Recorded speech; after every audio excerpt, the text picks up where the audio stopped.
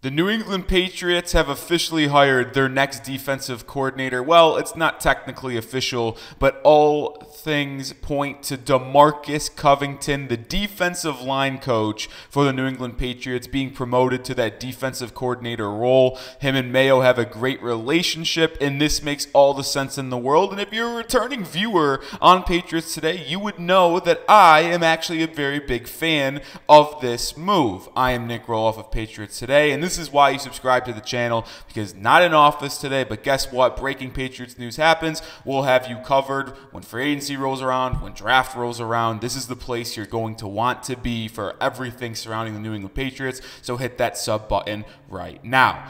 Albert Breer, who has ties in New England, was the one who kind of broke the news. He said, all signs point to the Patriots promoting defensive line coach DeMarcus Covington to defensive coordinator per sources. Should be official early next week. New England has called other candidates to tell them they're out. So this now just leaves the offensive coordinator role and special teams coach as the two major coaching spots and slots that need to be filled. We could talk about the offensive coordinator role more coming up, but I just want to talk about DeMarcus Covington because I think he has done a fantastic job in New England, and I really do like this hire. Like I mentioned, he's 34 years old. He interviewed for a defensive coordinator role last year with the Arizona Cardinals when he was 33. So, yes, he is a very young coach, but he was respected by the entire National Football League enough to get an interview last year.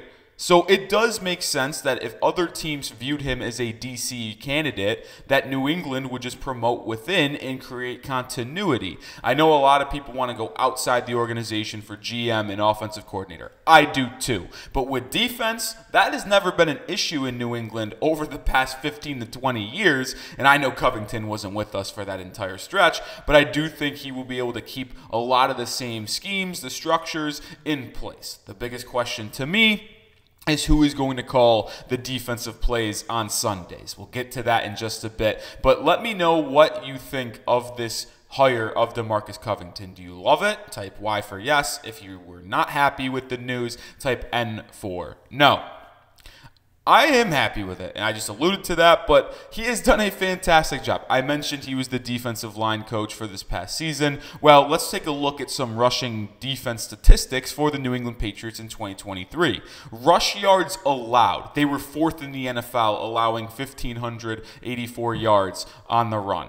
Let's go to yards per carry now. They were the number one team in the NFL in yards per carry at 3.3 yards allowed. Rushing touchdowns, they were tied for 11th with 14th. And if you look down at rush eh, rushing for first down percentage, that was at 20.8%, which ranked second in the entire National Football League. So this defensive line was very, very good. I know it's not the entire, the D line isn't the entire reason why the rushing defense was so good, but it at least plays a role, right? Like him and Jerod Mayo, who was the co-linebackers coach with Steve Belichick last season, they worked hand in hand in installing a game plan uh, to stop the opposing team's rushing attack, and then they worked together on Sundays to adjust throughout the out the game. So the fact that you get to keep Mayo in the head coach spot with Covington as DC, well, I would expect the defensive line to continue to flourish. I would expect this Patriots defense to continue to be elite against the run.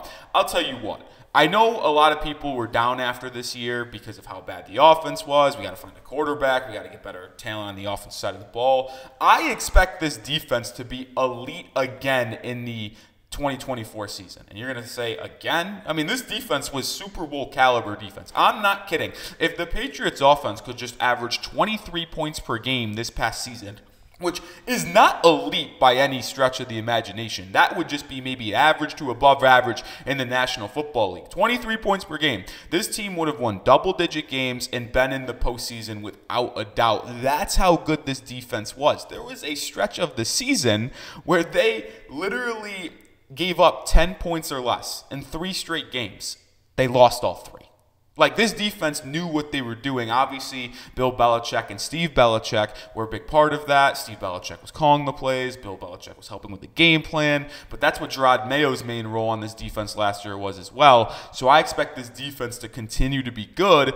And the thing that makes this the most noteworthy to me is that since you are keeping a lot of your in-house defensive guys as the coaching staff, well, a lot of those top tier defensive free agents are going to be likely to re-sign in New England. You mentioned Josh Uche, you mentioned Mack Wilson, you mentioned Kyle Dugger. Like these guys are going to want to stay in Foxborough to be under Jerod Mayo and DeMarcus Covington because they already have a good relationship with them. More coming up in just a second, but I do got to show some love to our sponsor on today's show, which is Prize Picks. Head to prizepicks.com slash CLNS and use code CLNS to get a first deposit match up to $100. Comedian Andrew Schulz, rapper Meek Mill, they play Prize Picks every single day. It's daily fantasy sports made easy. Just pick more than or less than on two to six player stat projections, and you could win up to 25 times your money. Get started today so you can make some selections for for tomorrow's games between the Lions and the 49ers, the Ravens and the Chiefs. You know I'm riding with the Baltimore Ravens. I'll take the more than on Lamar Jackson passing yards. He's going to hoop. But you could take my picks, you could take other people's picks, but make sure you go to prizepicks.com slash CLNS and use code CLNS to get that first deposit match up to $100. That link will be in the description and comments of today's video. All right, back to Covington. And I think the most intriguing thing to me is who will call the plays on the defensive side of the ball. Like I mentioned a little bit earlier, Steve Belichick did that in 2023. I would and, and I don't know if he's coming back. Like we always talked about, like, well, I'd love to have Steve Belichick back on this defensive staff, and him can call the plays um, in 2024 if he stayed on staff and didn't follow his dad, Bill Belichick. Well, obviously, I don't think Bill Belichick's going to get a job because the Atlanta Falcons went with Raheem Morris, and I don't really see him going to the Commanders or Seahawks, which are the only two openings left in the football league. So I don't think Bill Belichick's going to be coaching, which means is Steve Belichick going to stay on staff? If he does, wait, what is the play calling situation going to be? Is Covington going to do that for the first time in his career as the new defensive coordinator? Like, I don't think Jerod Mayo is going to do it as a first time head coach. If Steve Belichick's still on the staff, you're going to demote him and not let him call plays. Like, I just think that's an interesting scenario. And I think if you're promoting Covington, you pretty much have said and known that Steve Belichick won't be back for the next season. I would have been happy with him being back because, like I mentioned, this defense has still been good. He's been calling the plays. It obviously would have worked out, but why why would you promote Covington if you expected Steve to be back on staff? I do want to point this out too, by the way, with DeMarcus Covington being the first official defensive coordinator since 2017. We know Belichick did not like to have titles. In his opening press conference when he was introduced to the media, um, Jerod Mayo said he's a fan of titles. He believes in titles and was going to name a DC, going to name an OC, and have actual titles. So obviously Covington is filling that role on the defensive side of the ball. Now all eyes turn to the offensive side. Um, but I do want to round out and say I do think Covington will end up calling plays for this Patriots defense. I just don't see another way um, where they promote Covington to DC and they have someone else call the plays. So I think he will be the signal caller on Sundays in 2024. But now, like I said, we're going to look at the OC. They have now up to nine interview requests for offensive coordinators. Let me pull up that list here just in a second. Um, but it's an intriguing situation to follow. Here are the OC search. Luke Getsy, the former Bears OC, which is just would be an absolute disaster. I'm telling you what, that would be a train wreck. Brian Fleury, the 49ers tight end coach. Tanner Engstrand, the Lions pass game coordinator. That intrigues me. Thomas Brown, the Panthers offensive coordinator. Kind of lukewarm on that. Jerrod Johnson, the Texans QB coach, who is a very hot name, and it might be the next Saints OC. He's having a second interview in New Orleans for their job opening.